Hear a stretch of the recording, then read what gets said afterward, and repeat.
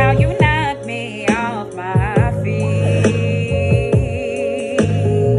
And every time you come over,